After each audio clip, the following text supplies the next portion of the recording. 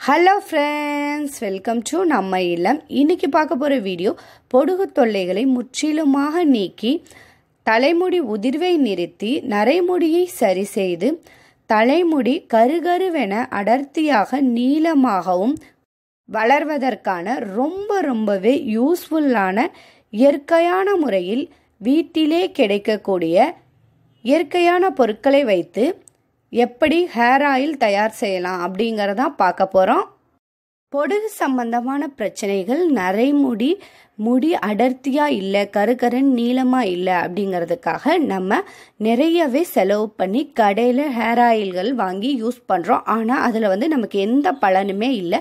இயற்கையாக நம்ம வீட்டிலே தயார் செய்யக்கூடிய இந்த ஹேர் ஆயில் நம்ம பொடுகு பிரச்சனை தலைமுடி உதிர்வு அது மட்டுமல்ல நரைமுடியை சரி செய்து முடி கரு கருவென அடர்த்தியாக வளர்கிறதுக்கு இந்த ஹேர் ஆயில் ரொம்ப ரொம்பவுமே யூஸ்ஃபுல்லாக இருக்கும். கண்டிப்பாக ட்ரை பண்ணி பாருங்கள் ஃப்ரெண்ட்ஸ் இதற்கு முன்னால் இப்போ தான் நம்ம சேனலை ஃபஸ்ட் டைம் பார்க்குறவங்களா தான் மறந்துடாமல் வீடியோக்கு கீழே உள்ள ரெட் கலர் சப்ஸ்கிரைப் பட்டனை சப்ஸ்கிரைப் பண்ணிவிட்டு அப்படியே பக்கத்தில் உள்ள பெல் பட்டனை கிளிக் பண்ணிவிட்டு வீடியோவை கண்டினியூ பண்ணுங்கள் அப்போ தான் நாங்கள் ரெகுலராக போடக்கூடிய யூஸ்ஃபுல்லான வீடியோ நோட்டிஃபிகேஷனில் வரும்.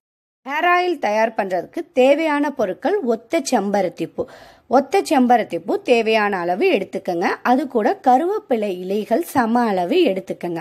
அதுக்கப்புறமா மருதாணி. மருதாணியும் வந்து சம அளவு எடுத்துக்கோங்க. மருதாணி தலையை குளிர்ச்சி அடைய செய்யும். அதுக்கப்புறமா வெள்ளை கரிசலாங்கண்ணி.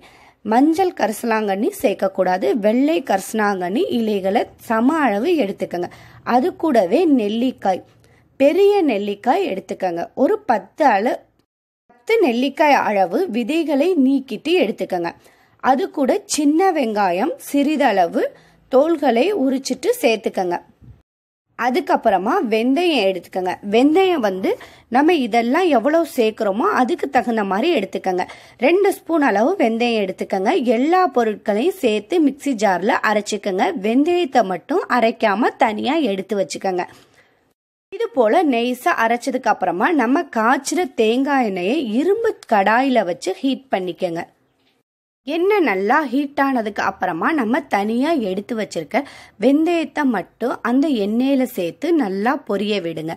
அதுக்கப்புறமா எல்லா பொருட்களையும் சேர்த்து அரைச்சி வச்சிருக்க விழுத வந்து அந்த எண்ணெயில் சேர்த்து சேர்த்ததுக்கு அப்புறமா இது போல் எண்ணெய் நல்லா நொர பொங்கி வரும். அடுப்பை சிம்மில் வச்சு எண்ணெய் ரொம்ப மொறுகிடாம பக்குவமா காய்ச்சி எடுங்க. எண்ணெய் காய்ச்சினதுக்கு அப்புறமா அப்படியே அடுப்புலேயே வச்சு அடுப்பை ஆஃப் பண்ணிடுங்க. அதுக்கப்புறமா இது போல ஒரு காட்டன் துணி போட்டு எண்ணெயை மட்டும் வடிகட்டி எடுத்துக்கங்க. இந்த எண்ணெயை தொடர்ந்து தினமுமே ட்ரை பண்ணி பாருங்க ஃப்ரெண்ட்ஸ் கண்டிப்பாக உங்களுக்கு ரொம்ப ரொம்பவே யூஸ்ஃபுல்லாக இருக்கும். படுகு பிரச்சனை முற்றிலுமாக நீக்கி இளநரையை சரி செய்து முடி உதிர்வை தடுத்து தலைமுடி கருகருவென அடர்த்தியாகவும் நீளமாகவும் வளரும். இந்த வீடியோ உங்களுக்கு பயனுள்ளதாக இருந்தால் உங்கள் ஃப்ரெண்ட்ஸ் அண்ட் ரிலேஷனுக்கு ஷேர் பண்ணி லைக் பண்ணி நம்ம இல்லத்தை சப்ஸ்கிரைப் பண்ணி நம்ம இல்லத்தில் ஜாயின்